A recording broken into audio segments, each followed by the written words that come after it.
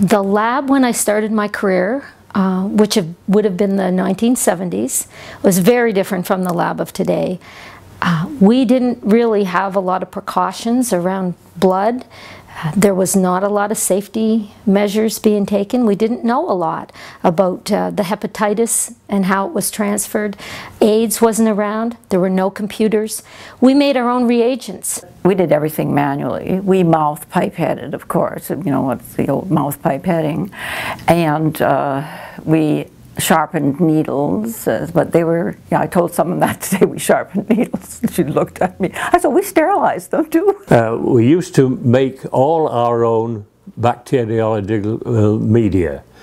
Uh, for the broth, we got ox hearts from the abattoir, and these were dissected out, minced up, boiled up with, with, with various buffers and so forth to produce a broth, which is our basic broth.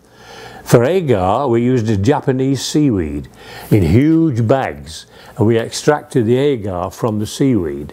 And everything else was everything was handmade. There were no commercial media at all. Everything was handmade. We did work on stainless steel counters, and there was no such thing as grounding for electrical. And so, if you got water on the counter and, and touched it at the wrong spot, you'd get a shock. Uh, today, it's a big.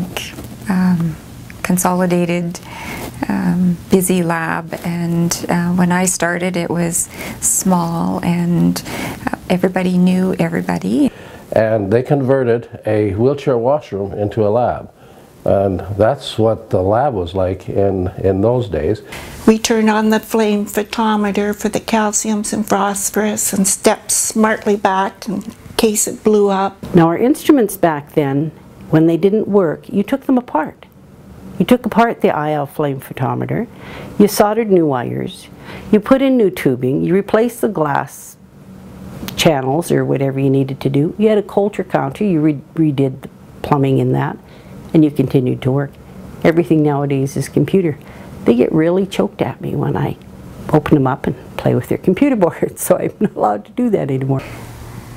They were unsafe places. We didn't know that, but they were unsafe places we mouth pipetted. There were no gloves, there were no masks, there was no um, chemical safety.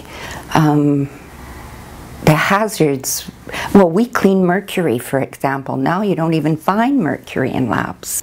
I remember microbiology, you in investigated and identified every organism as far as you possibly could, simply because it was there and you had the time to do it. I think the, the automation that is present now is just awesome compared to what we had, uh, even the initial uh, cell counters that we thought were just the most wonderful things that were ever invented.